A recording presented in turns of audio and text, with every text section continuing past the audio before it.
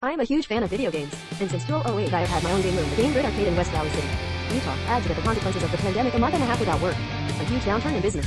Frequent customers confuse me with bowling, and the prospect that J.C. Penney will close some doors, maybe forever, and it makes me think about other options. For those of you who don't know, I've been running slot machines in West Valley City, UT since the summer of 2008, and since the opening of the multi-million dollar CCI next to my house in November last year.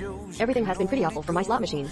This little trailer does not tell you if the game content is different from the arcade version, but gives you a mobile chair, a bigger screen and more players. With this concept I did not have any RC cars at home, but Sega built a huge racetrack, equipped some RC cars with cameras, and they were connected to electronic gaming cabinets, where you could see the view of the car on the screen. Some of you may have seen some of my conversations this week in the media about the second place. For my game room, if you, like me, are into video games, you may have noticed something very interesting in Nintendo's latest mini maker this week.